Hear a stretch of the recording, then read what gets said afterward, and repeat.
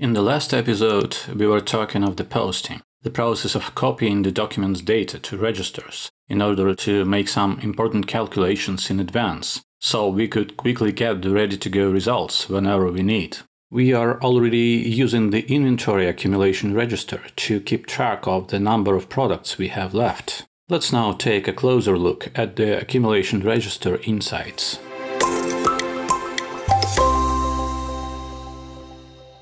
Let's create a new accumulation register to play with. There are two types of accumulation registers in the platform. Registers of the balance type keep track of how many things are left. The registers of the turnover type track the number of things spent over a period of time. Let's start with the balance register. We use balance accumulation registers when we need a quick answer to the question how many things are left. The most important things to understand about the accumulation register are dimensions and resources. They define what calculation the register does. So let's play with them and see how they work. I'm going to start with uh, zero dimensions, although it's really hard to imagine what task this kind of register might be useful for. Anyway, I'm creating no dimensions and the only resource quantity and the register goes to the other subsystem. I don't have any real-life task in mind, just want to show you around. So, as a matter of example, I'm going to post purchase documents data into this register.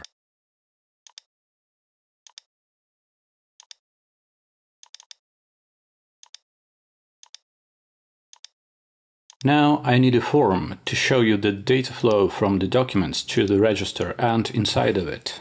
I don't need you to repeat after me, so let me skip a number of steps here. And here is our form. Let me show you what it looks like. The form has three dynamic lists. The upper one shows the products list of all posted purchase documents. Next two lists down show the two tables of the accumulation register, the main table and the balance table. The main table of the register gets the exact copy of all records posted, except there is no company and product attributes in the register, so these two just get lost at this point. Next, these quantities get copied to the balance table and summed up here. The sum is broken down by the register's dimensions, which we don't have, so we end up with a single sum, the total amount of all products bought. This number mixes up all Pringles and all batteries and there is no way of separating one from another looking at the balance table alone. If you're familiar with a SQL, you can think of the balance table as the product of this query performed on the main table. Now I'm going to add the product dimension to the register and copy the product attribute from the purchase document to the register here in the posting event handler.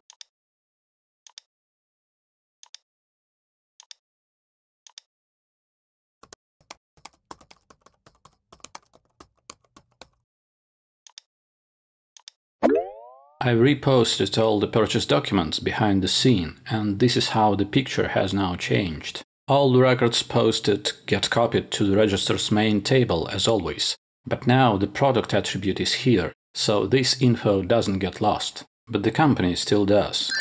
Then these three main table records go to the balance table. This time the sum is broken down by the product. So these batteries get summed up into these balance records, and this single Pringles line goes here. This is how our hypothetical SQL query has changed. It gets the product field in the select clause and group by clause with the product in it. Okay, let's add another dimension, company. Now I need to copy this attribute value to the register. The company attribute lives on the documents level rather than in the products list, so this is where I'm taking it from. And here we go. Now all the records posted are copied to the main table with all the fields including product and company. Then they are copied to the balance table and this time no data gets lost in the process because the sum is broken down by both product and company. The SQL for this transformation looks like this we have the company field added to the select and group by clauses. So this is what dimensions do. They define how the balance records are broken down, or in other words, how detailed they are. You can think of dimensions as of binoculars focus ring. You can zoom all the way out by creating a register with no dimensions, and all you see is one big balance number without any details. You zoom in to one dimension and the single balance value gets split into many. You zoom further in and these smaller balances get split more and more. But how do we decide how many and what dimensions we should have? Let's look once again at how we check if the products are available during the sales document posting. This is the query that reads the negative balances from the inventory register after the current document records are written. It takes all products listed in the sales document, then goes to the balance table and searches for the balances record for each product in the document. This search will be the fastest if there is only one balance record for each product. This way, the query won't need to calculate anything. It will just read the number it needs directly. So this specific query needs the balances broken down by products. And this is exactly what we implemented by adding the product as the only dimension to the inventory register. So we create a register to speed up some specific task. And we look at the task requirements to decide what structure is the best. The ultimate goal is to provide the task with a final result that needs no further calculations. These were the register dimensions. What about the resources? What are they and how we use them? Let me add another resource called price to our test register. I'm also going to delete all the dimensions again to make it more clear what exactly happens. And I'm fixing this posting procedure and adding the price assignment. Okay, let's see. Nothing's really changed except for this price column, which is now in the main table and which gets summed up to the balance table the same way the quantity does. And this is how our hypothetical SQL query looks like now. So, the resources are what gets summed up in the balance table broken down by dimensions. It means that the resource can be only numeric. Okay, uh, this was the balance accumulation register. Let's now change its type to turnovers and see what happens.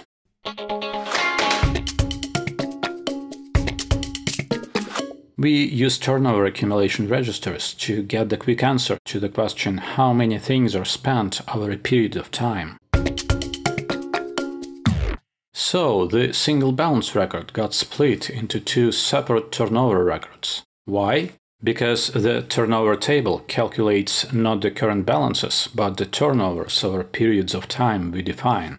In this case, I set it to show the monthly turnovers, so these two records from June got summed up into this turnover record, and this single July record went here. Basically, you can think of the turnover register as of the balance register with a predefined dimension period added. Except we can select the periodicity we need. Let me show you where it's done. The form we just saw lives here in common forms. And this is the turnover table. It's a dynamic list that takes its data from this so-called virtual table. We'll look at the real and virtual tables more closely in Module 5. In a nutshell, it's a table that can change its output depending on its parameters. This is where we can say we want monthly turnovers. If we run the query builder and open this virtual table parameter list, we will see other possible options right here. But what do we use the turnover registers for? Here is an example for you.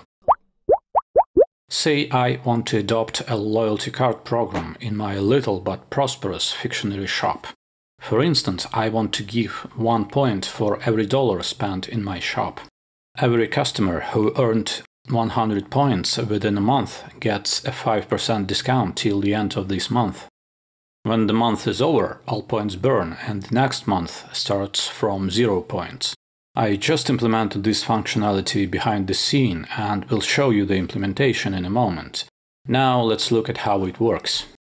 First things first, here I have a new catalog called Loyalty Cards. And when my very loyal customer, Mr. John Doe, came to the shop, he quickly agreed to register one. So this is his card in the app. Mr. Doe goes out of town for the weekend, so he is buying a case of Pringles, his favorite snack. Note that now I have a new field, a loyalty card, in the sales document form, so I'm filling it out with the Jones card. The case of Pringles goes to the list, as well as the bottle of Coke to wash it all down. Note that up here I have another new field, amount paid, that sums up all prices from the list. Now I'm posting it and here is this transaction in my new turnover register called Loyalty Cards Turnovers. Have a safe trip, Mr. Doe. Uh, mm, sorry, what? More Coke? Of course. Here you go, Mr. Doe. And congratulations, you just got a 5% discount on this purchase and you owe me only 1520 instead of 16. So this is how it works. Now let me show you how it's implemented. This is our turnover register with the only dimension loyalty cards catalog reference and the only resource amount paid. This structure means that we break turnovers down by loyalty cards. Note that there is no periodicity setting anywhere in the register, although turnovers are periodical by nature. We set it up as we wish when we read from register, meaning we can set it differently in different places. Next few changes I made live here in the sales document form. I added amount paid and loyalty card attributes to the document and the form. Whenever the price field in the products list gets changed or the product gets deleted, I recalculate the amount paid attribute, summing up all the prices. I do the same when the form gets open to calculate this amount for the old documents that were saved earlier when there were no such attributes yet. And I do the same in the objects module just before writing to make sure this amount is always calculated regardless of where the document was saved from. But the most interesting part, as always, lives here in the posting event handler. Nothing's really changed up here except I'm not exiting the procedure in the case of the backdated posting anymore. And here is my loyalty card program implementation part. I clear these document records from the turnover register. Then I check if the loyalty card was used for this transaction and then I read the turnovers for this loyalty card for the current month. This is how I specified the loyalty card and this is uh, the beginning and the end of these documents month. I'm pretty sure there might be the only one record in the result in the record set, so I read the first record and add the current documents amount to it. If the monthly amount already spent plus the current documents amount is greater than 100, then I discount the current documents amount by 5% and congratulate the customer. And finally, I write the recalculated amount to the turnover register like this. As easy as that.